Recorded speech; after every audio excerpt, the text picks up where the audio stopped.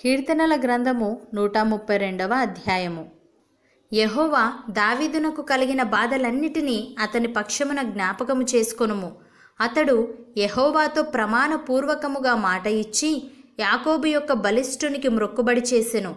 ఎట్లనగా యహోవాకు నేనొక స్థలము చూచు వరకు యాకోబు యొక్క బలిష్ఠునికి ఒక నివాస స్థలము నేను చూచు వరకు నా వాసస్థానమైన గుడారములో నేను ప్రవేశింపను. నేను పరుండు మంచము మీదికెక్కను నా కన్నులకు నిద్ర రానియను నా కన్ను రెప్పలకు కునుకుపాటు రానియననెను అది ఎఫ్రతాలోనున్నదని మేము వింటిమి. యాయరు పొలములలో అది దొరికెను. ఆయన నివాస స్థలములకు పోదము రండి. ఆయన పాదపీఠం ఎదుట సాగిలపడదము రండి. యహోవా లెమ్ము. నీ బలసూచకమైన మందసముతో కూడా రమ్ము. నీ విశ్రాంతి స్థలములో ప్రవేశింపుము. నీ యాజకులు నీతిని వస్త్రము వలె ధరించుకొందురుగాక. నీ భక్తులు ఉత్సాహగానము చేయుదురుగాక. నీ సేవకుడైన దావీదు నిమిత్తము నీ అభిషక్తునికి విముఖుడవై ఉండకుము. నీ గర్భఫలమును నీ రాజ్యము మీద నేను నియమింతును.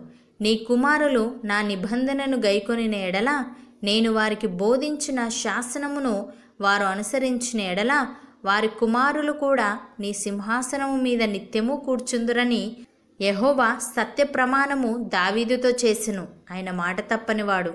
యహోవా సియోనును ఏర్పరచుకొని ఉన్నాడు. తనకు నివాస స్థలముగా దానిని కోరుకొని ఉన్నాడు. ఇది నేను కోరిన స్థానము. ఇది నిత్యము నాకు విశ్రమ స్థానముగా నుండును. ఇక్కడనే నేను నివసించెదను. దాని ఆహారమును నేను నిండారులుగా దీవించెదను. దానిలోని బీదలను ఆహారముతో తృప్తిపరచెదను. దాని యాజకులకు రక్షణను వస్త్రముగా ధరింపజేసెదను. దానిలోని భక్తులు బిగ్గరగా ఆనందగానము చేసెదరు. అక్కడ దావీదునకు కొమ్ము మొలవ చేసెదను.